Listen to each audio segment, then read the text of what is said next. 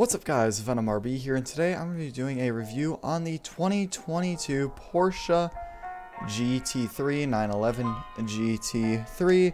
Now this car costs $165,800 and uh, yeah, let's hop right into the review. So, four sounds. The startup's kinda underwhelming, there's not much to it. Idling's just meh. It sounds pretty good overall. And, uh, not much more to comment on that. Okay, now for interior.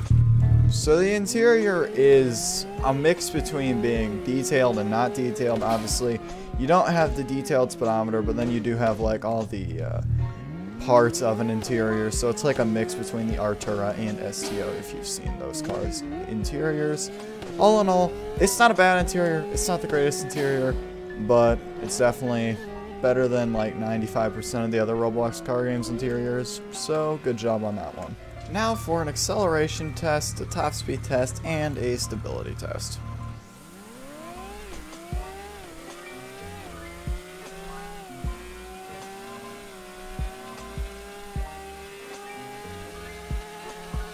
So the acceleration is pretty good, and the top speed is 238 miles per hour, now this car seems incredibly stable at top speed because it's really just not that fast. Keep in mind this car is completely max upgraded so this is as fast as it can ever get. Now for a handling test.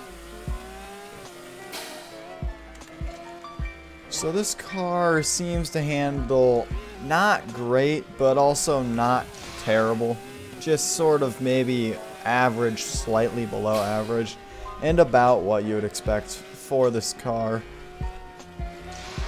All in all, I feel like this is probably going to be a decent car for races, but not incredible. Like I said, the handling is just meh. It's nothing to be amazed about, but it's nothing that's going to let you down either.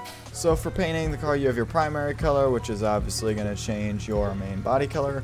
And then you have your secondary color, which is going to change the wheel outline. So you can make your primary color match up with that which actually looks pretty good and allows you to do a lot of interesting color combinations. So, is the GT3 a good car, and is it worth it? Not really. For the price, there's a lot of better cars, but it's such a low price at this point that you're just better off saving up a bit more for a different car. So, as much as I'd like to say it's worth it, it's just not. Now, it's a cool car for cruising around in and it's so cheap that it really doesn't matter. You can, you know, buy it and uh, even if you're not even a rich person, DE, it's not going to really hurt your bank account bad. But uh, yeah, that's about it for this review. Thank you all for watching, and I will see you all in the next video. Fun out.